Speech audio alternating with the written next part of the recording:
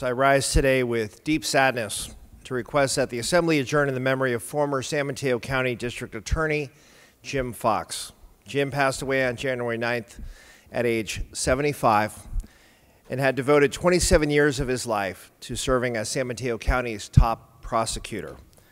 The son of parents who immigrated to the United States from Ireland, Jim was born and raised in Half Moon Bay, graduated from my alma mater of Serra High School in San Mateo, he soon went on to earn his bachelor's and law degrees at the University of San Francisco, having envisioned a future career in law. He began his decades long public service career as a deputy district attorney in 1970 before entering into private practice.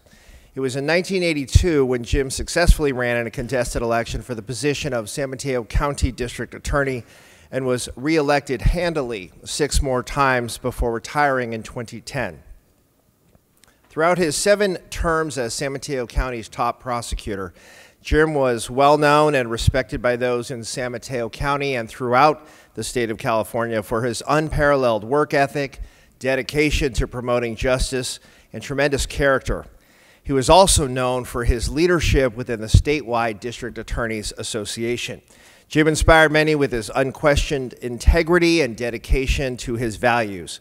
He served as a mentor to many who have undoubtedly been touched deeply by his work. He was a longtime resident of San Carlos, where he lived with his wife of over 50 years, Bonnie.